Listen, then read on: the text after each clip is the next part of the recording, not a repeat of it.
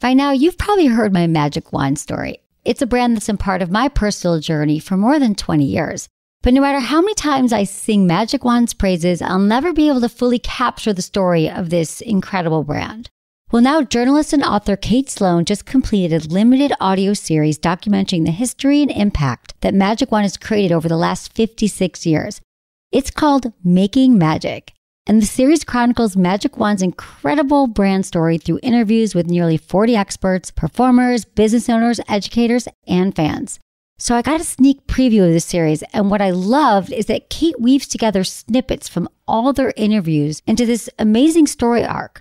She covers Magic Wand's journey from appliance store massager to its legendary influence on culture and sexual independence, and it's all just fascinating.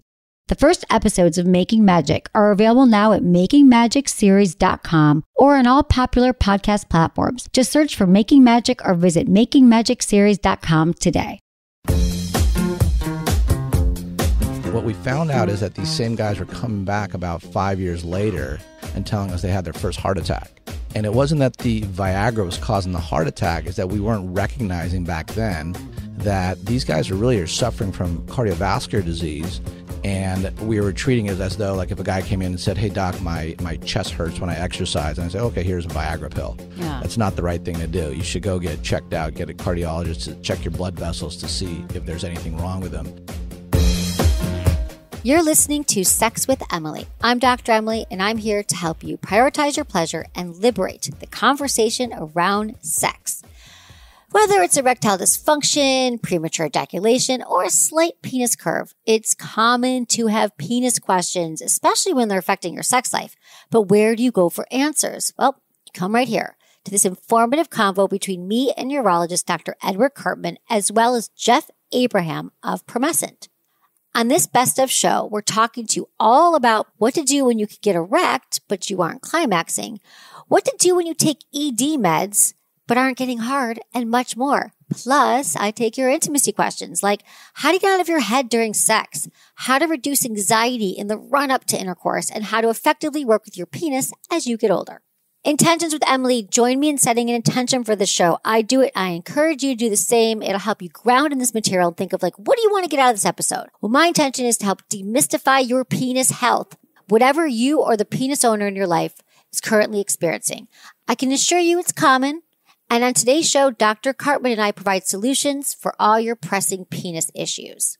Please, please rate and review Sex with Emily wherever you ever listen to the show. Do it now. Totally helps us do more episodes and more quality shows. I appreciate you. My new article, Missionary Sex Position, new and improved, is up on sexwithemily.com.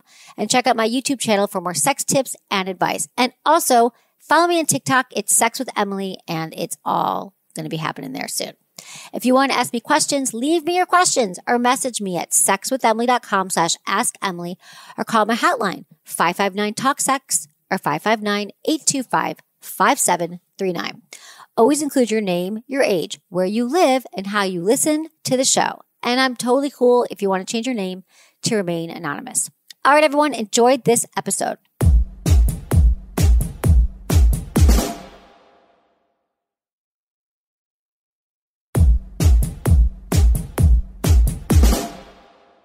Dr. Edward Karpman is a board certified urologist with a background in male reproductive medicine and surgery, microsurgery, and male sexual dysfunction. He's currently the medical director of the Men's Health Center at El Camino Hospital, Los Gatos, and the California Vasectomy and Reversal Center, and has appeared on NPR, NBC News, and more talking about male fertility and penis health. Learn more about Dr. Karpman at healthy-male.com or on Instagram at ekarpmanmd. You're amazing. Welcome to the show, Dr. Karpman. Now we've established you you know all things penis. Um, penis challenges, I feel, have been on the rise lately. What's going on? Like I know that it affects 50% of men over the age of 40, some kind of penis challenge, but why do you think it's becoming more of a problem now? Or is it just that we talk about it more? I think it's a little bit of both. I always tell people that in 1999, when Viagra came out, it was a sexual revolution, a renaissance for us. And we finally had a drug that could effectively treat erectile dysfunction. And we started talking about it. Remember, there were commercials Oh, for yeah. Viagra famous senators like Bob Dole were going on TV saying that I'm using this. Yeah. And it became socially acceptable in our puritanical society to talk about sex. And I think it's only been 20 years since Viagra Yeah. came out, and we've seen this evolution. And we're seeing uh, new products come to market, things to treat crooked penises, more hormone replacement products, and we're seeing a lot more attention to it. So that's one of the things. I think we're just bringing more attention to the issue of sexual dysfunction. Our society is not getting healthier, so we're getting more problems at the same time. let's just talk about erectile dysfunction real quickly because i think people sometimes get confused with what it might mean so what is it and how like how would you define it and how does it affect a person psychologically well, affects a person psychologically tremendously. Okay, let's just get that out of the way. But erectile dysfunction is defined as the inability to obtain and, very importantly, maintain an erection adequate to complete sexual intercourse. So many guys think that, oh, if I could get it up for a minute, 100%, I don't have a problem. But even though it goes down before I can reach climax or satisfy my partner, I don't have a problem. That's a problem. that's a problem for everyone Yes. involved And in fact, that's a form of erectile dysfunction is called a venous leak, where guys can get a good erection, but they just can't maintain that erection. And this is a very devastating form of erectile dysfunction because it affects young men. And how does it affect young men? What is it? Is it something that's genetic? Is it something else? Well, it's just it might be something that they acquired from say some trauma or some injury or some something like that. But a lot of guys, it's a genetic problem, and it's the inability of them to just hold that blood in their penis. And the analogy that I always give my patients is that imagine you had a faucet and you had a bucket, and someone said, "Hey, you got to carry a bucket of water from the faucet over to that point B." Faucet works great, water flows in great, but someone drilled a hole in that bucket. So by the time you get over to point B, half the water's leaked out already. Mm-hmm. So obviously, you're not going to have much water in that bucket. So that's the kind of ED that younger men get, and Okay. a lot of older men get as well. Okay, so that's one kind of, but, but essentially we're just talking about. I always say like it's this umbrella of penis challenges. Like it's just you you you can't you can't get hard, or they you get hard, you can't stay hard, and it's a problem. And then sometimes there's pain involved.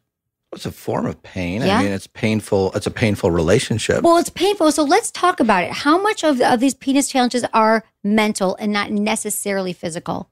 Small percentage. We're talking about 10% of erectile dysfunction is due to some psychological causes. And there's things like, you know, stress, anxiety, those will contribute to erectile dysfunction. Expectations being uh, inappropriate, Right. you know, those will contribute to erectile dysfunction. But it's really a small percentage, about 10% is due to what we call psychogenic erectile dysfunction. The vast majority is that word. truly an organic problem that there's something wrong with the guy and we can usually identify it and fix it. Just to make the distinction here that people with premature ejaculation, which is you come too quickly, you're hard, and then you're not hard very long, that could be mental, more mental in many ways. It can be. A perfect example is a guy who has a venous leak realizes he only has about a minute or two of hardness before it goes soft. So just like Pavlov's salivating dog, he trains himself to come quickly in order to reach climax. Because orgasm is why we have sex, right, Right. Emily? That's No, not the only reason. well, that's that's that's the It's the drive, it's the carrot, I guess, but there's other things that happen. You're right. I don't, Okay. I don't want to minimize the whole process. Okay. Foreplay is important. In the Foreplay process. starts after last orgasm. I saw you notice my sign when you it. came in. Love it. So, yeah. So I think that what we strive for orgasm because if we don't achieve orgasm, then we feel like we didn't complete our sexual act.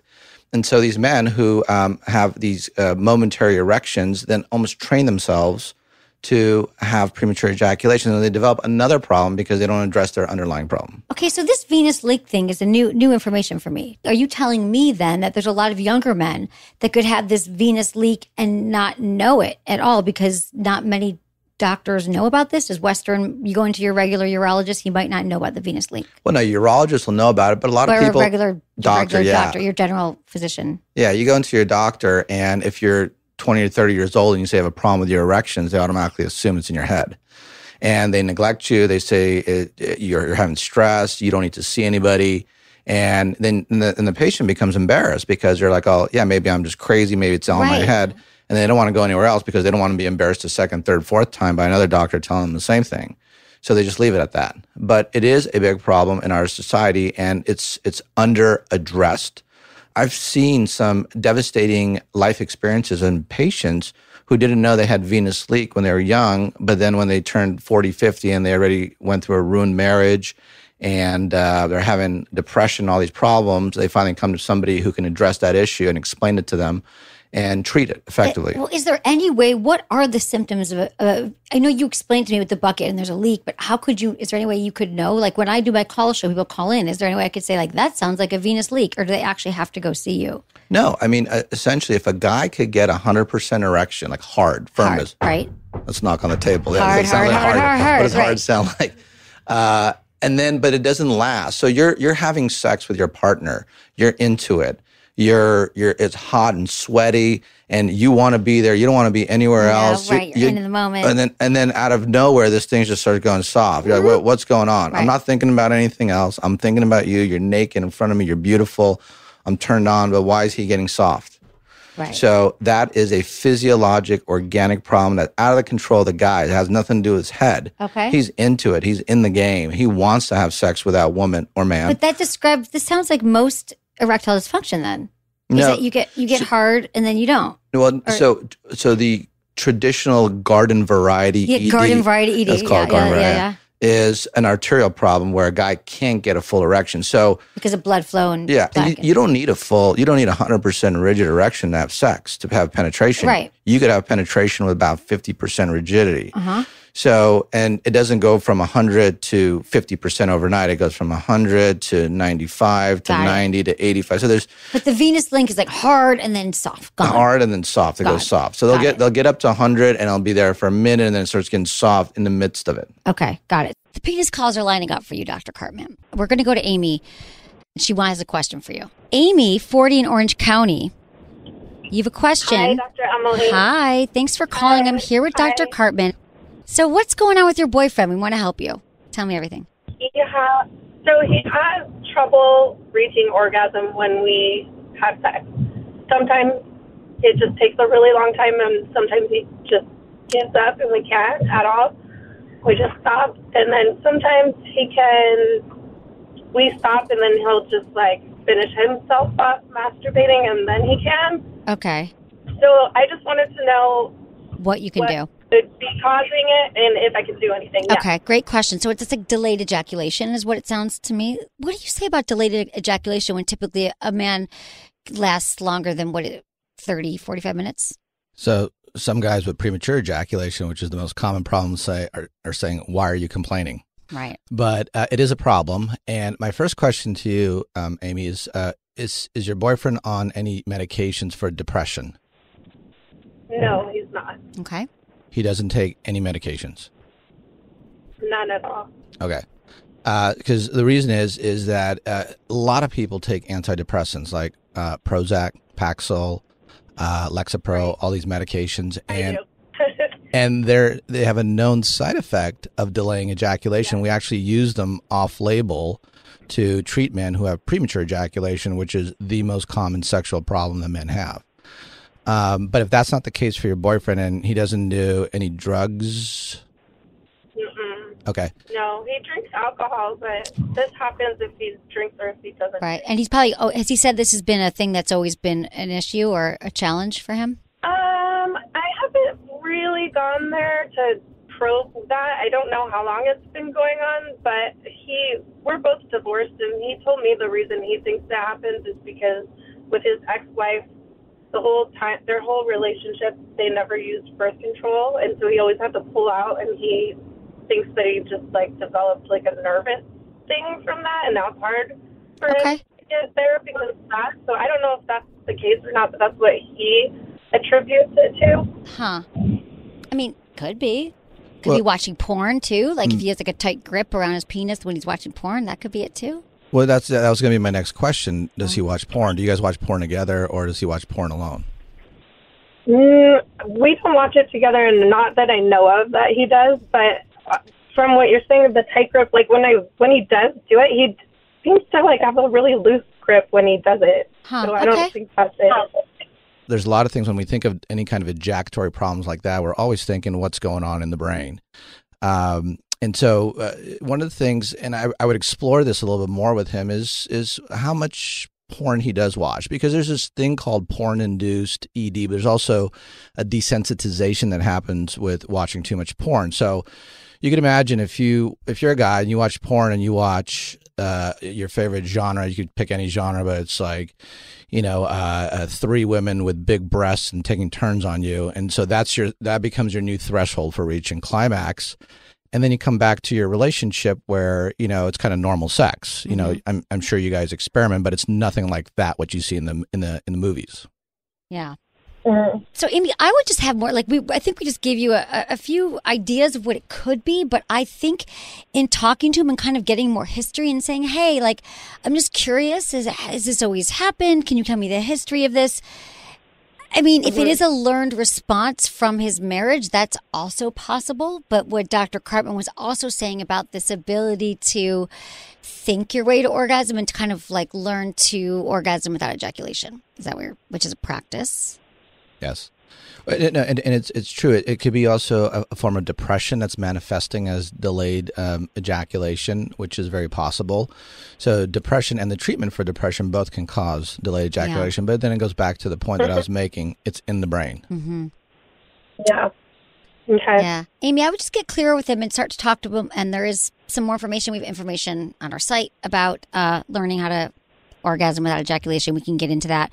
But let's get some more history from this and then um, call me back. Call me back with him. Okay? Okay. Thanks, Amy. Let me know how it goes. Okay, let's talk to Ken55 in New York. Hi, Ken. What's going on? How can we help you? How you doing? Um, having trouble maintaining and getting an erection, and even after taking Cialis. Okay, 55 in New York. All right. Ken, what? Okay, so even after taking Cialis, how long were you taking Cialis for? Oh, as needed. I mean, it just it doesn't okay. seem to work. Did it ever work? Not really. No. Well, how are you taking it? First of all, a pill. Well, no. Are you taking it 20 minutes before sex and then uh, you sit there watching Sports Center until something happens, or do you take it on an empty stomach an hour and a half before intercourse and then you go stimulate yourself? How do you take it?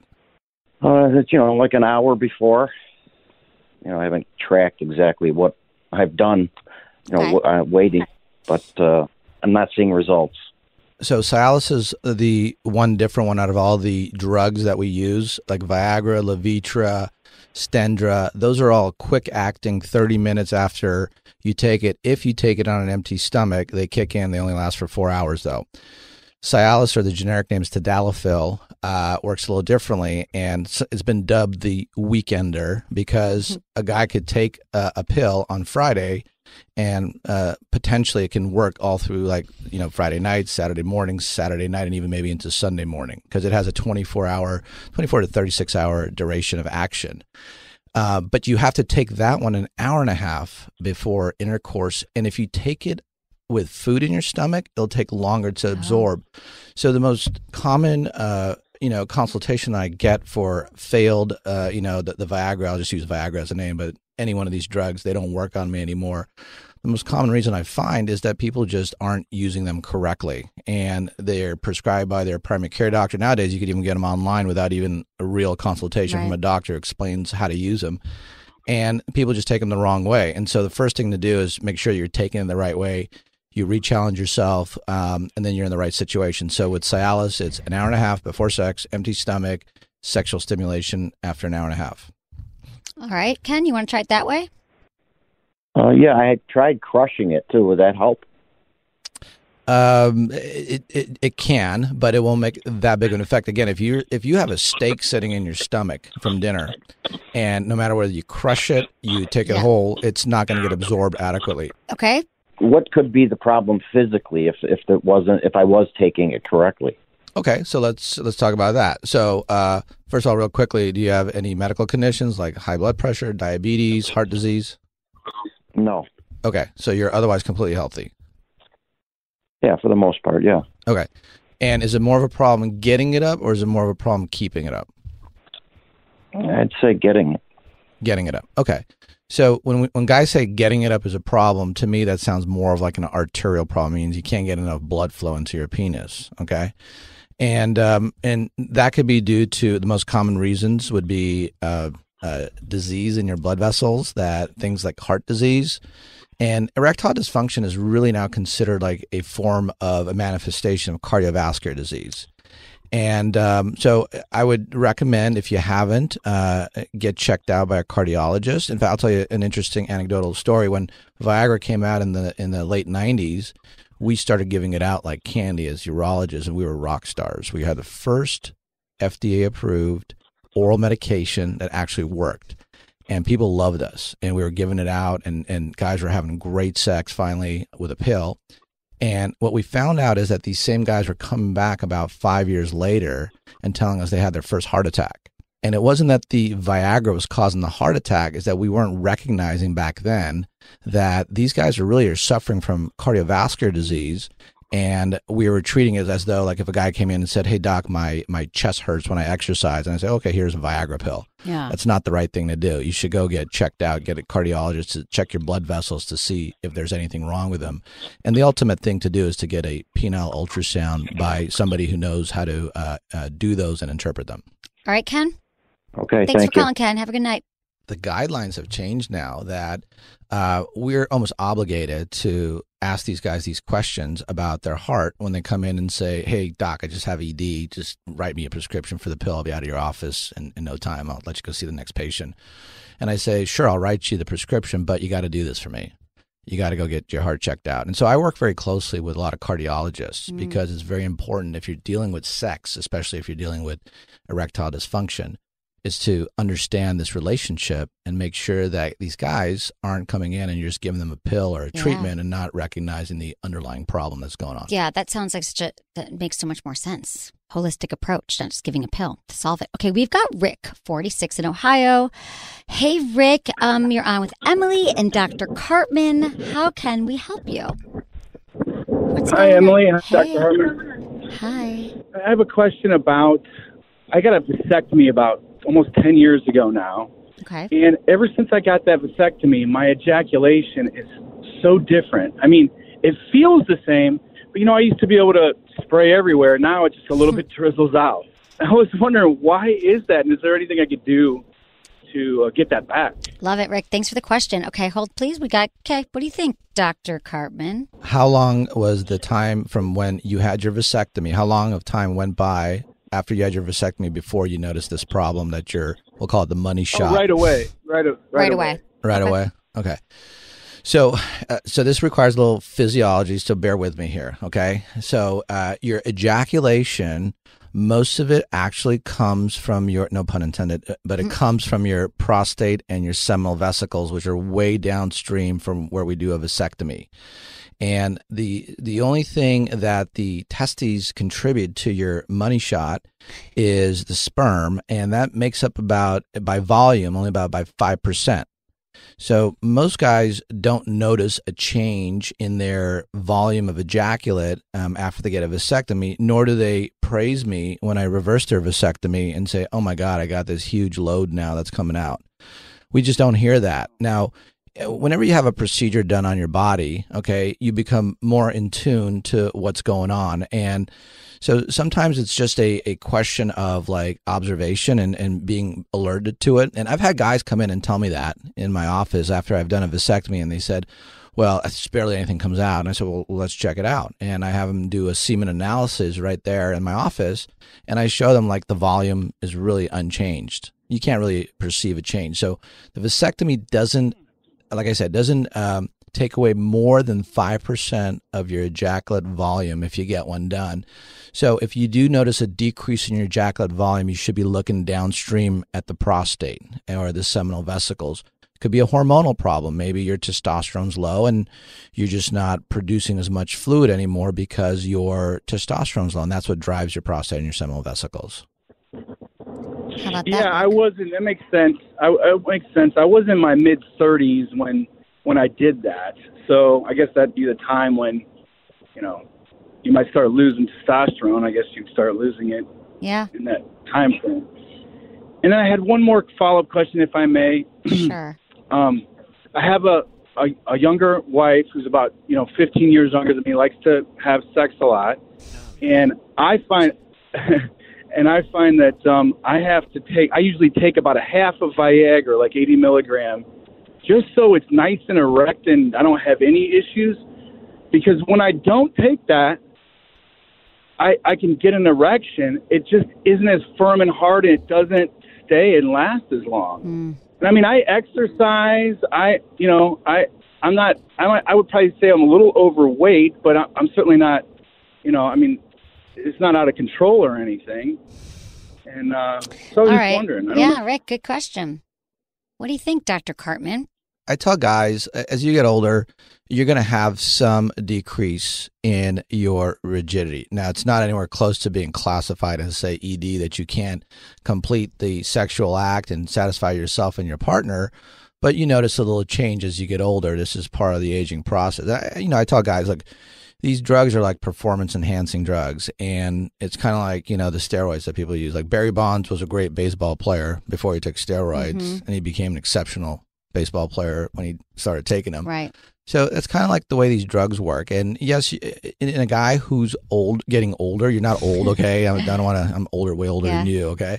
But uh, it, it can happen. You can start noticing some decrease in function and so these these drugs do help perk you up a little bit and we also don't know, Rick, if she's, I mean, she might be fine with your penis, where however it is, but you are thinking like it's got to be harder, it's got to be bigger, it's got to be all these things. And I'm going to bet that your wife is pretty satisfied as it is right now.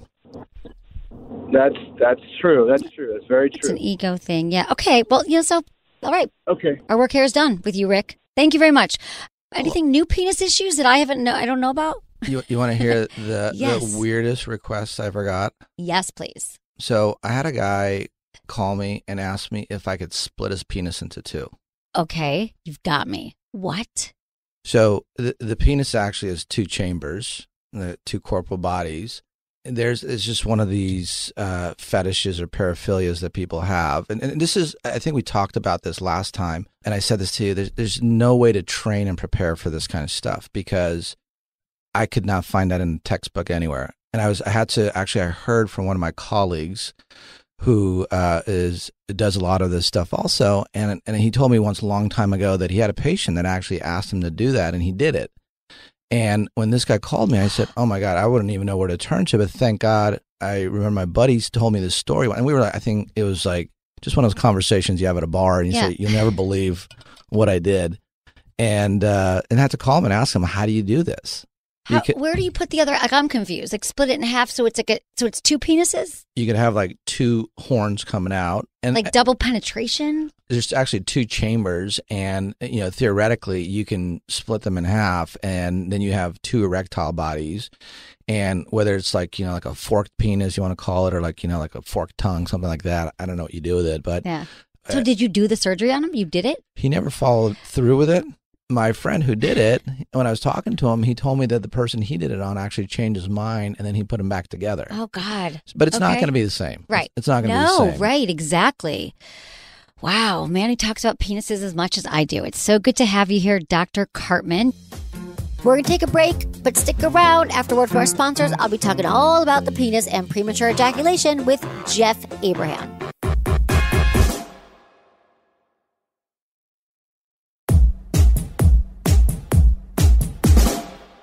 Jeff Abraham is the CEO of Promescent, the iconic delay spray company empowering penis owners to last longer in bed. As an innovator and a visionary, Jeff and his company have been featured on Dr. Oz, the Chicago Sun-Times, CNN, and of course, Sex with Emily. Find more Jeff at promescent.com or on Instagram and Twitter at promescent or at Jeff Abraham 111.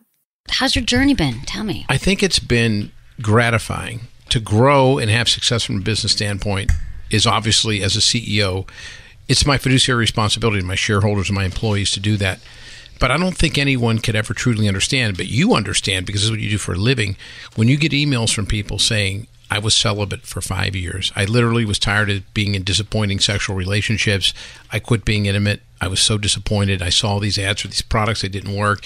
For some reason, I saw the medical credibility. I heard Emily. I heard Dr. Ian Kerner. I heard, you know, urologist on a certain show, and I decided to give it a chance it's revitalized my life. When you get an email from a couple who says, you know, we had been going through the motions literally for the last three years, five years.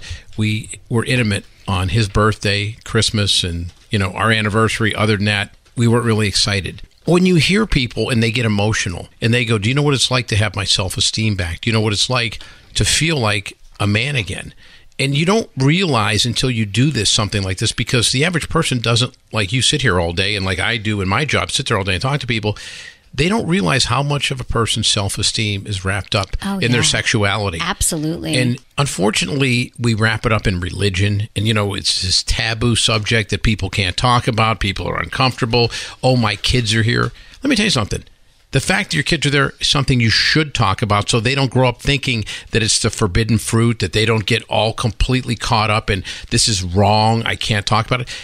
I want us as a society to not feel the taboo, to not feel the shame, to not feel like, oh, this is a naughty thing. Right. Are you kidding me? When I took over this company, I think I've told you this before, it's very important to me if you're going to run a company and be the CEO, you have to know what you're competing against, what people's other options are. How can you properly position your product? So I said to Ron, he was a urologist, the, the guy who invented and founded Promescent.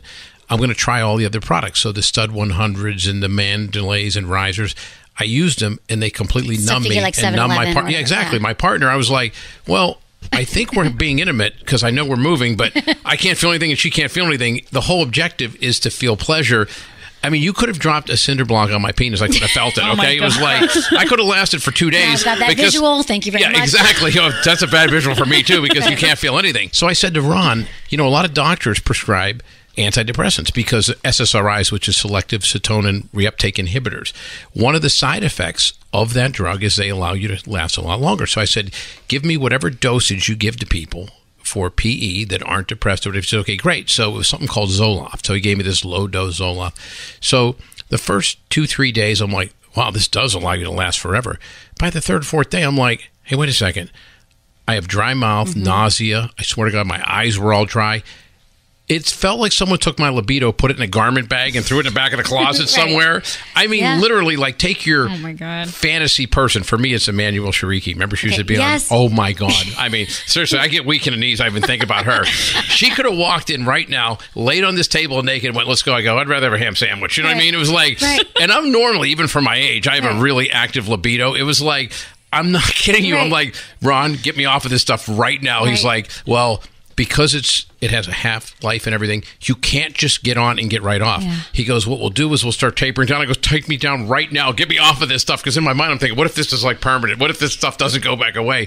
So it took about another four or five days. And I go, how could anyone take those?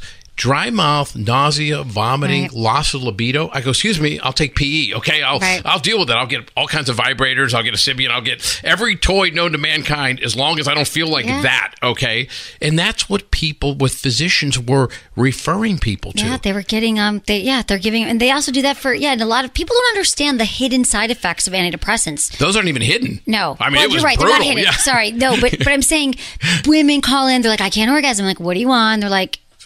SSRI. I guess their doctors don't often tell them, or maybe they they forget. They don't think it's going to happen for men too. It's ridiculous. Using an telling you. SSRI for PE is like putting out a candle with a fire hose. Okay, it's a little Yeah, too strong. You know what I mean? Give it. It, it was That's a insane. good way to put it. Yeah. And we also, so I promised everyone we were going to close the orgasm gap tonight. Yes. And I think you've been doing that with Promescent. But let's talk about it like the orgasm gap. When I say that, it's like we know that women take longer to orgasm than men. There's just going to be a gap. The clinical trials, when you look at, and it's funny because Yeah, I I went to did the some of the clinics. So I went to some of these clinics because you know Jeff we deal does with his work. I do He's my work like a- exactly. he's like real fucking business. It also satisfies the perv aspect. You go in there, go, I wonder how this works. You know, you go in there.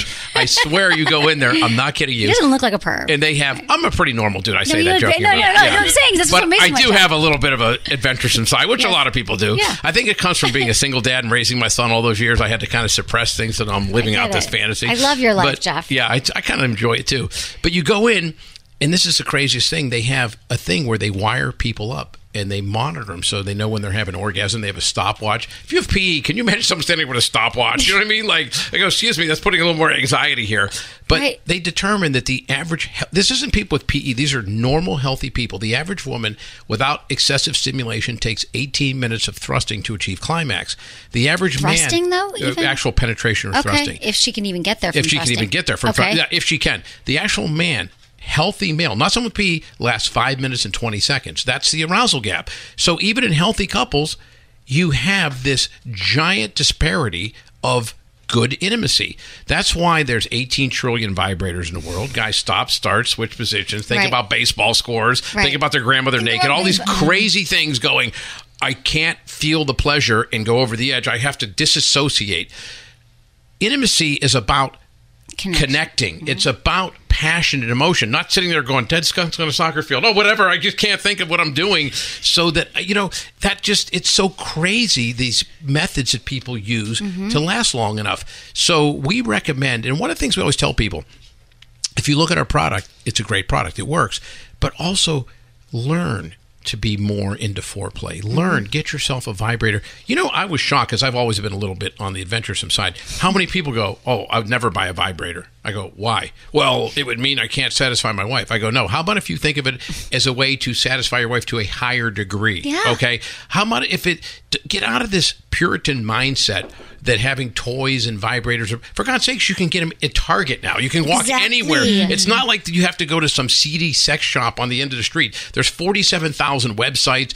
Regular grocery stores have a section They with do. you know condoms and lubes and vibrators.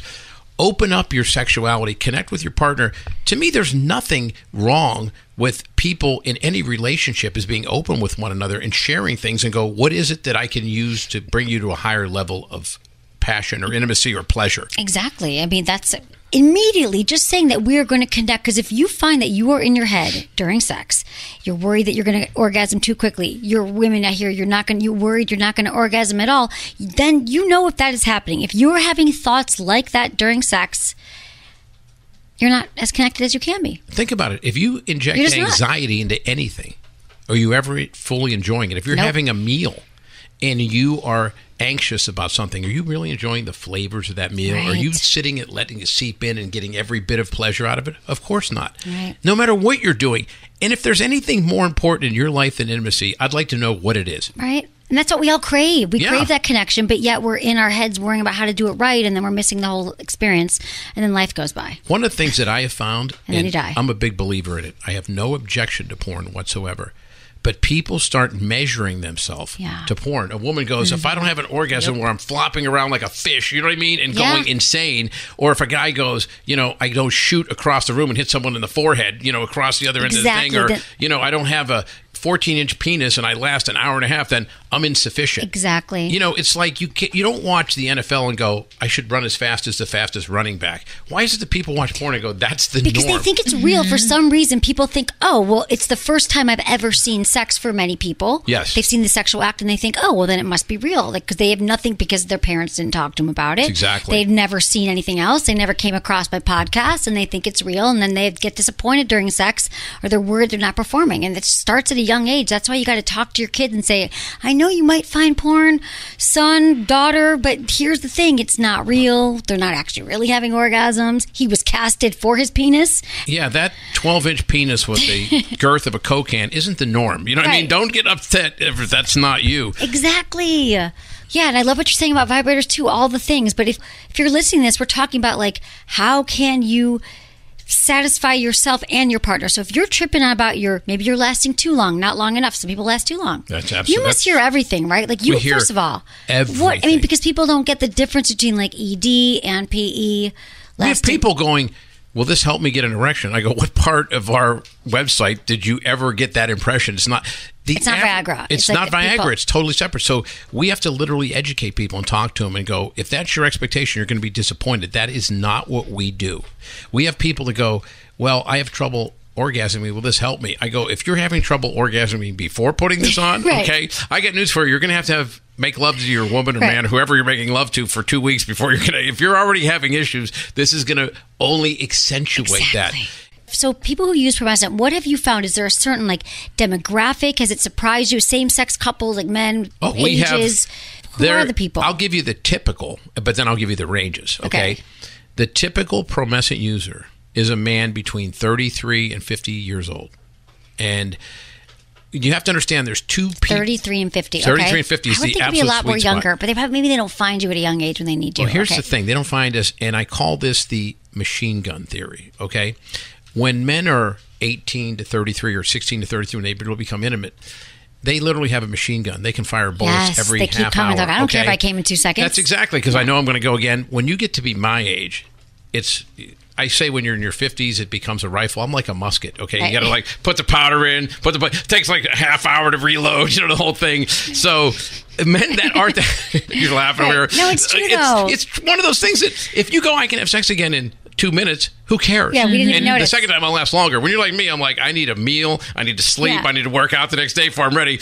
I got to make every shot count. So I have a gun. Every one shot Right. has to be right in the forehead. Okay, Right. they look at this machine gun. They're spraying bullet. I'll hit them with something. You know what I mean? Right. So younger men, unless they're extremely you know, wealthy and they have all this discretionary income and they're going, I'm trying to optimize every area of my life. They're like, hey, I'll just do it again. You know, it's so like true. Yeah. My boyfriend at 25, he could come three, four times. I'd never seen that since. I was like, oh wow. Just Yeah. like I don't know if I, I don't remember how fast the first one was. It just kept coming. You just, exactly. anymore. Yeah, not Yeah. anymore. Nope. Trust me, not because people my age. I'm about to turn 62, and it's like one of the things that blows me away is they'll go, "Oh, I've been married 20 years. We have sex literally three times a year." I'm like, what? And they go, "No, we're just both kind of over it." And I go, dude, you need to mm. re-examine your relationship. Take a vacation, you know, get back into it, you know, that kind of a thing. But for us, it's about if your performance starts waning, then your enthusiasm is going to wane. Then you get into the spiral where you forget about it. Think about if you have a favorite food, you eat all the time, you love it, and you cook it, and all of a sudden you just kind of quit eating it. A year later, you kind of forget about it. Yeah, you do. But then someone waves it in front of you, you go, hey, wait a second, that's good. You know, Well, that's I. People forget they like sex. They People- forget they connected because there was a problem, and they're like, "I don't really need it." And I feel like a lot of you have called in and said that. And I'm like, "No, you just forget. You have forgotten what it feels like to be a, a sexual being on the planet." And you know what I find too, and everyone gets into this, is when you get into a relationship, I don't care how explosive it is to begin with. I don't care how magical it is the first year or two years. If you pass that three, four, five year mark, you get into a routine. Once you get into a routine, the excitement begins to wane. It's something It's you truly happen. have to work at. It will happen. And it's just like think about your favorite meal. If you eat it every single day, after Right. five years, you go, I want anything but that. Okay, give me anything but a sirloin Right. steak. After all these years of loving it, sir. So you have to go. I need to find different ways to make that steak. I need different sauces. I need different presentations, different side dishes to get it a little bit of a flavor, different flavor, so that I still crave it. Right. Sex is the same thing. Same exact thing. It's the one thing in our life that we think it should just work Yeah. without having any effort at all because it did in the beginning. And no one tells you that it changes over time, except for I do and you do, Jeff, which I appreciate. And I Part of it is we have the benefit of seeing so many people that lose touch. And then it shocks you and scares you into going, I'm not letting that happen to me. Right. I've seen that. I don't want that to happen in my life. But I started the show because people were saying, God, sex is so amazing. I'm like, okay, I want to figure out what great sex is. But also, I saw that so many people were not having great, that sex was a culprit. When people were ending relationships, they're like, oh, yeah, the sex wasn't great. Or then I saw that couple that sitting at the restaurant who you tell them married for 20 years and they weren't talking to each other. And I say, I never want to be that couple. I never want to be in a relationship where the sex dies, you know? And so, because I knew, and I'm like, well, I'm going to figure out how to prevent that. So, and you're doing a great job of it. Thank you ever you, see Jeff. go in a restaurant and you see a couple and the woman's texting the guy's reading Yeah. the paper and then you start staring at him and 20 minutes go by and there's no interaction with them. Zero. And you know what I think now from having been in the business? I go, those people are having horrible sex. Yeah, They're not the same. connected. And if I go into a restaurant and you see people and they're holding hands and they're joking and you see this banter back and forth, I literally say to myself, those people have good intimacy. Yeah. Mm-hmm. Because it's not just, it doesn't stop in the bedroom. It doesn't start in the bedroom and it doesn't stop in the bedroom. For you to have good intimacy, you literally have to be anticipating it during the day. You have to make that person feel feel special.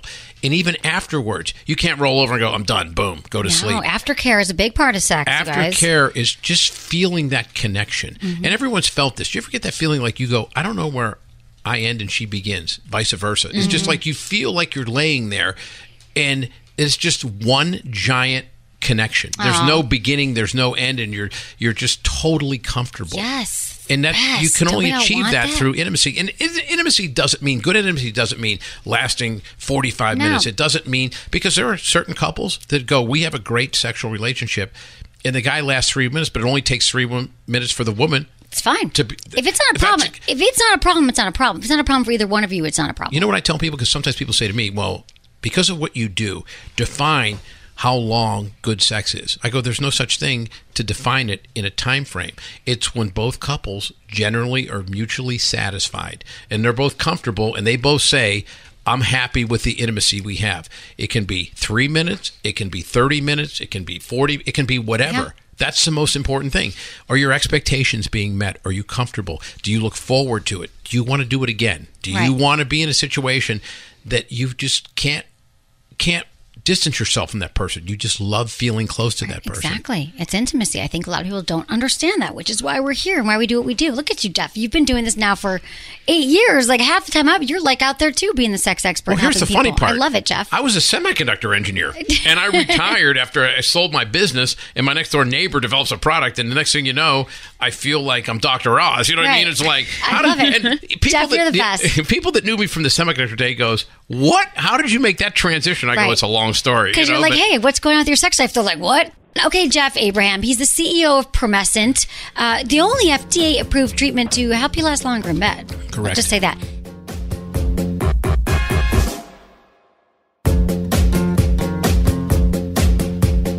That's it for today's episode. See you on Tuesday.